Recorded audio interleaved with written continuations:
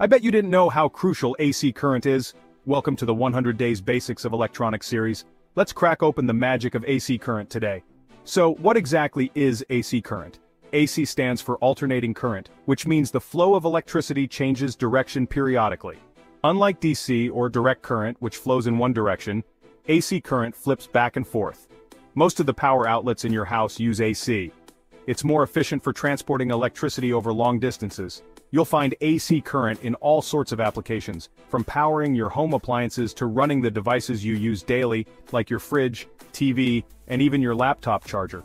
Understanding AC current is like unlocking a secret code in the world of electronics.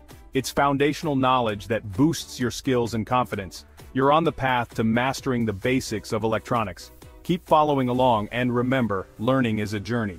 If you found this helpful, don't forget to like, share, and subscribe for more cool electronics basics.